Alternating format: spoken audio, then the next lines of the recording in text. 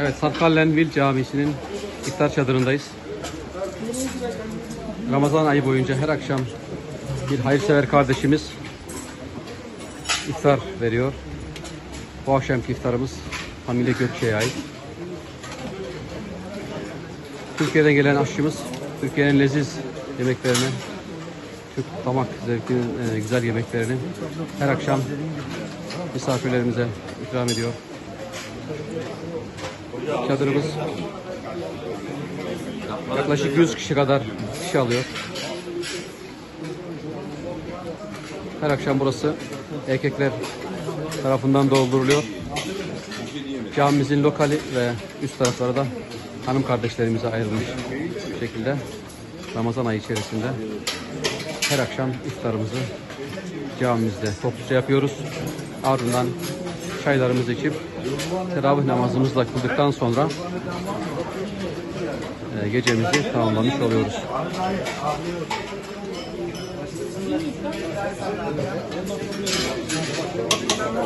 Benim abi bana yok değil mi?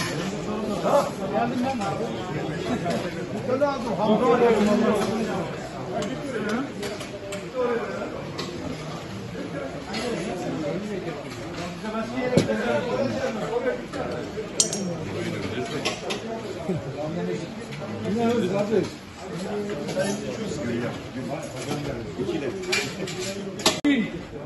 أعوذ بالله من الشيطان الرجيم.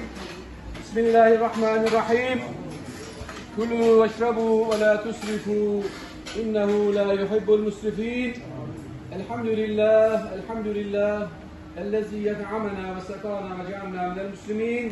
ورحمة الله وبركاته على صاحب هذا الطعام والآكلين. Celilullah, berekatü halilullah, şefaat ya Resulallah. Kafalarımıza bereket, yiyenlere afiyet, ölmüşlerimize rahmet, çalışanlara sağlık, sıhhat, selamet. Bu nimetleri hazırlayıp ikram edenlerin geçmişlerine rahmet, kazançlarına bereket, vücutlarına sıhhat ve afiyetler ihsan eyle ya Rabbim. Bu nimetlerin asıllarını cennette bizlere bahşeyle ya Rabbim. Bu nimetleri ikram edenlerin geçmişlerinin ruhları için, hasreten Allah rızası için El Fatiha.